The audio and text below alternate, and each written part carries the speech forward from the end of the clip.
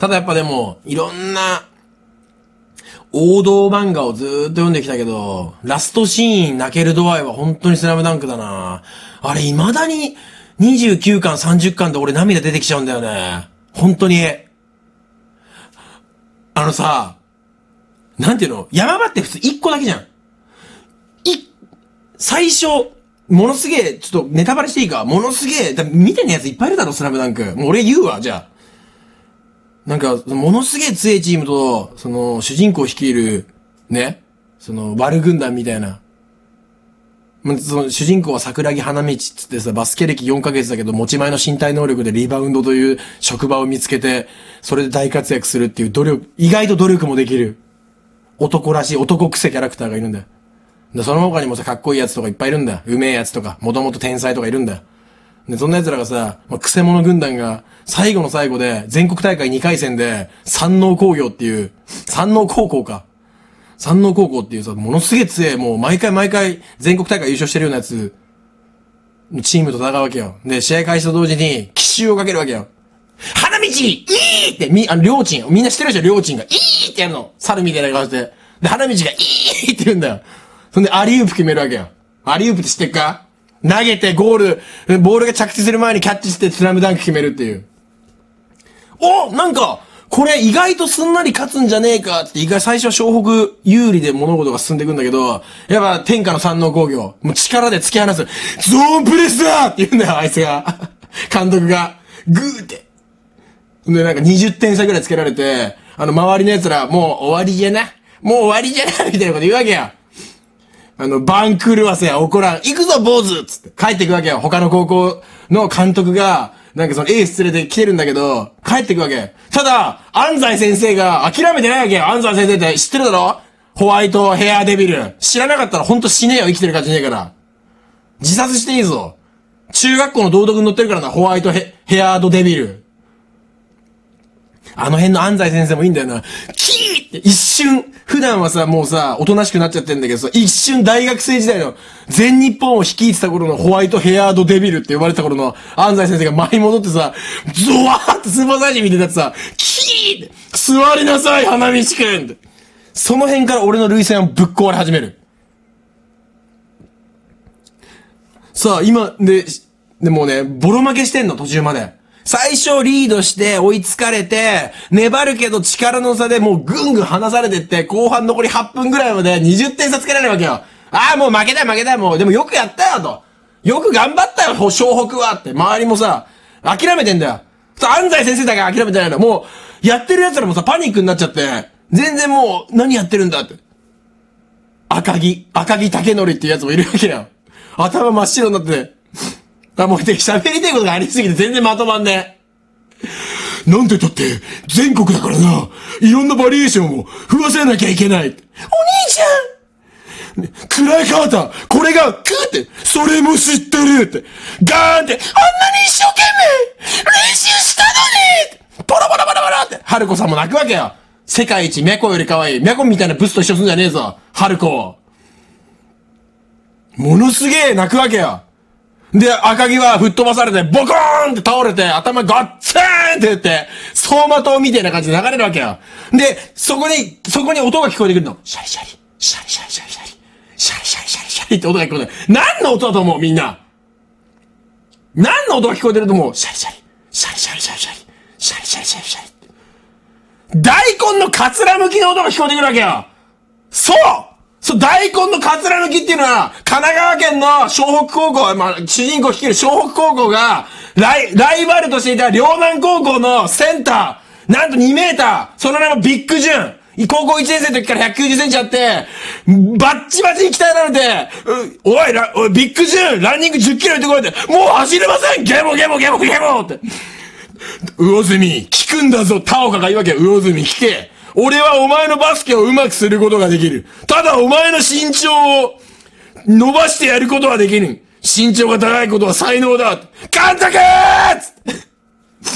っていうな、ビッグジュンが、高校で、な、バスケをやめて、自分のない家の、あれだよ、家業を継いで、料亭を継ぐことになってんの。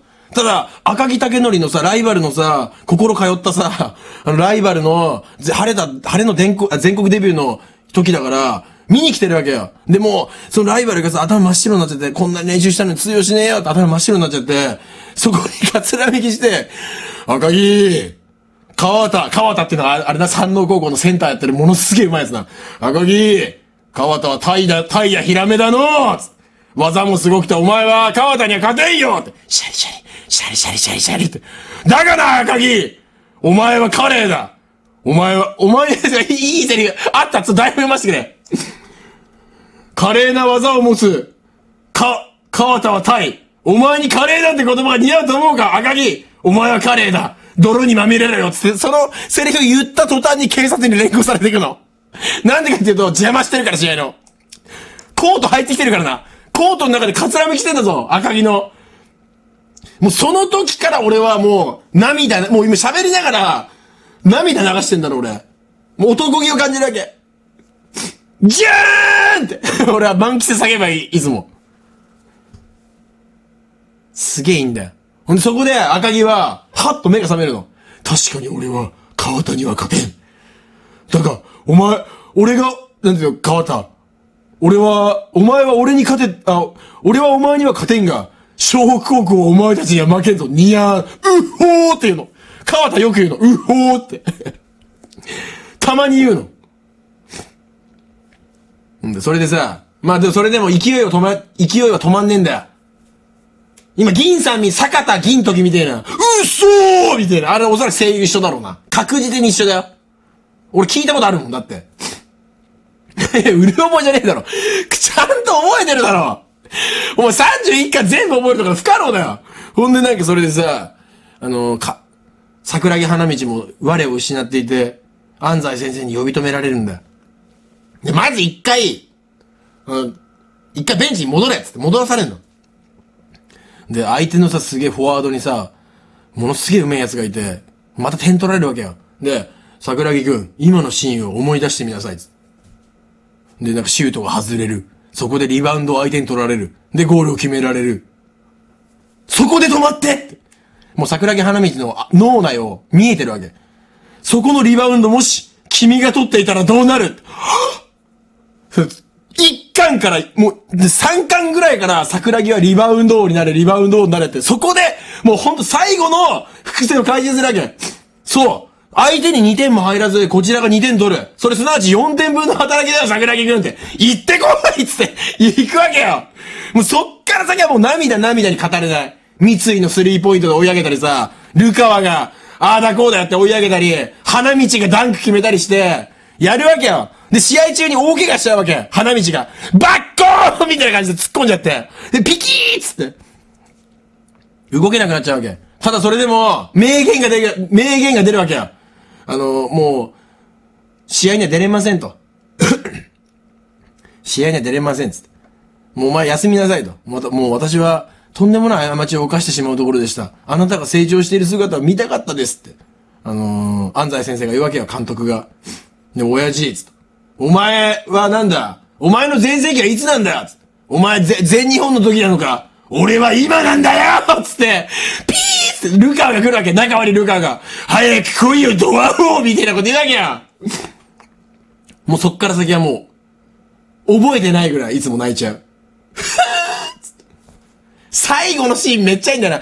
後半40ページだから、山王高校との、そのね、試合、後半40ページぐらい、セリフないわけ。全部絵だけで表現するわけ。いや、無限大、どう、目を閉じよう。どうじゃ？無限大だろって絶対あそこから来てるから野球石秀祭。あのさ、バカボンドの野球石秀祭が、目を閉じよう。どうじゃ？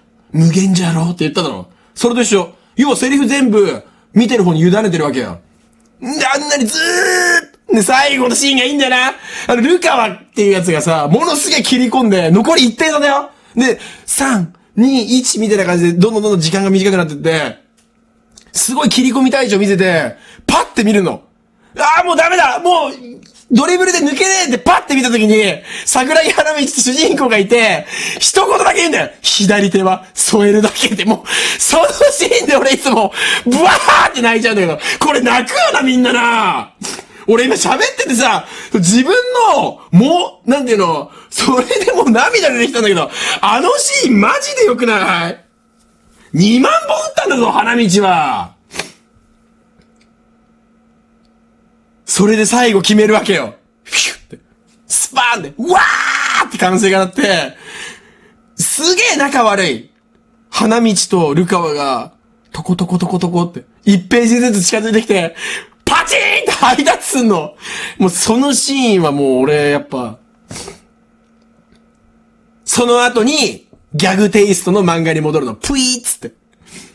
あれ神様のような終わり方だよな。鳥肌も、見てください、皆さん。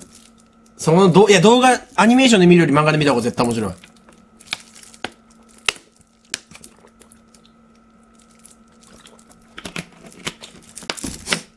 あれ三能って、アニメ、あ、で、全国行く前に終わっちゃうんだっけ、アニメって。ん？両南に勝って終わるんだっけ？両南に勝って終わるんだっけ？桜木が間違えてパスしたシーン話して。えー、あの、2年生が いるチーム。名前は高砂、高砂だっけ？高砂にパスしたシーンな。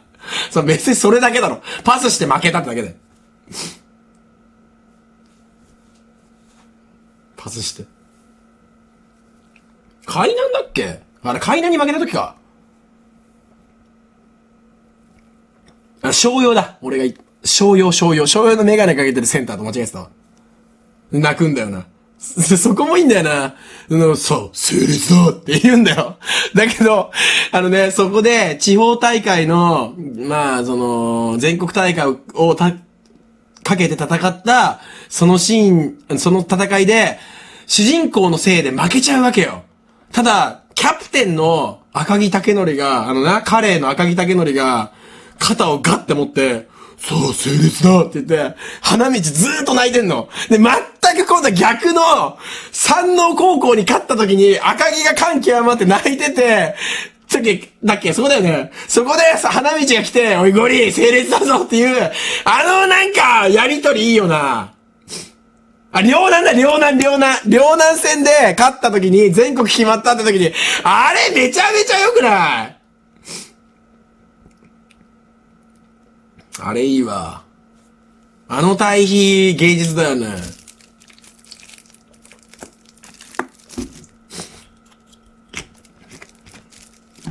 なんで俺スラムダンクにこんな、なんでスラムダンクの話になったの？あ、綺麗に終わったアニメ、漫画、堂々第1位。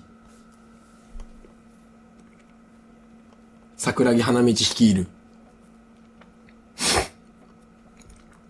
うん。あれはおスラムなんか面白かったわ。大の大冒険はなんかね、無理やりすぎた。なんかもうめちゃくちゃだったじゃん。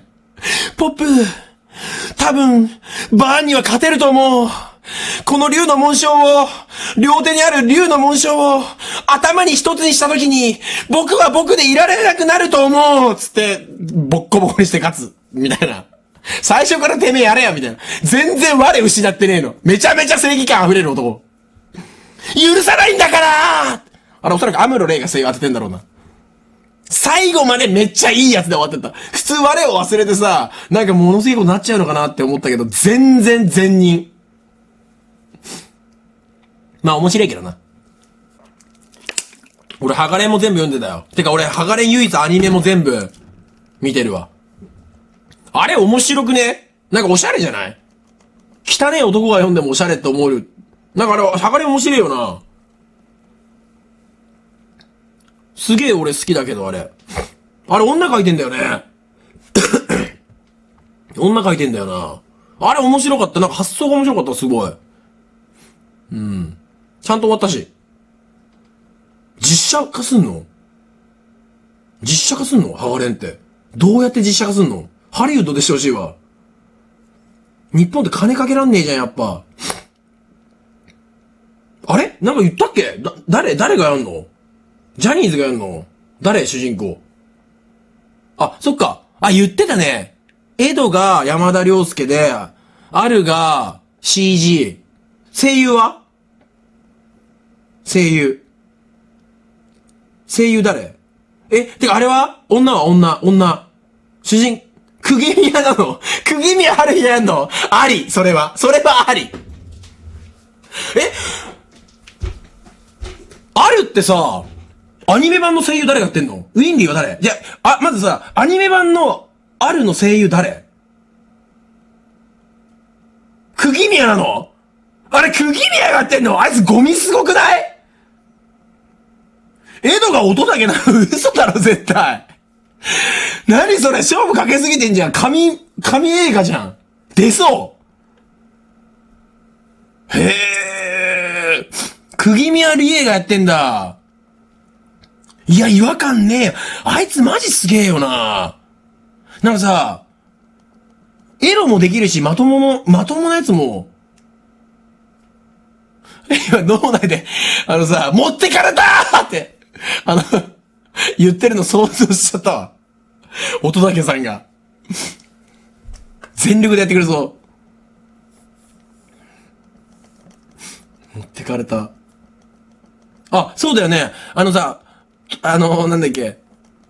うっそーの、あの、かぐや、もう、なんとかあるよーみてえな。俺一人、銀玉できるからさ。だから俺、不女子に人気なんだよ。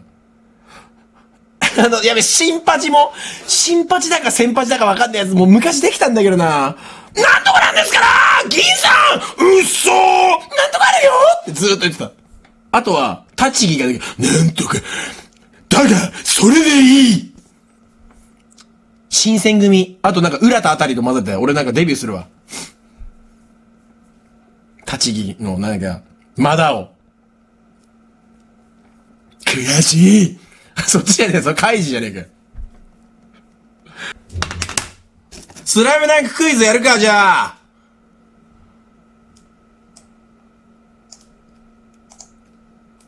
100点。目指すわ。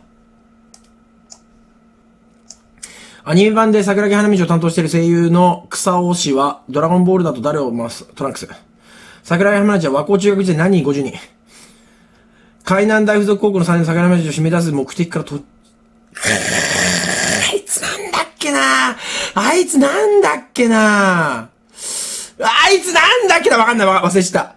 宮益だ宮益宮さん宮さんは、チビの宮さんな、あの3が意外とうまい。宮さん忘れるとかもう自殺もんだわ。小高校の柔道部のしよう。みちーかっこいいぜーやつだろ。青田よし。よし。神奈川県インターハイ予選決勝リーグのシーズン、えー、両南商用湘北海南。湘北海南大附属両南。竹里？あ、商用負けたんだ竹里かボッコボコにしたやつだろ。両南高校の横断幕に書かれてる漢字4文字。え、わかんねえ。文武両道とか。勇猛果敢。堀田徳夫らが三井の応援をするため用意してる横断幕に書かれる。なんだっけ男三井みたいな。ほのの男みっちゃんだ。わかんねえよ。こんなの見てねえよ。わかってるやついるのすげえ。大学の監督時代の厳しかったホワイトヘアデビル。うん。白髪き。田岡監督が湘北戦で侮っていた記者に言った二名とは桜木花道と、えー、小暮。うん。まあまあまあ、いいんじゃねえの。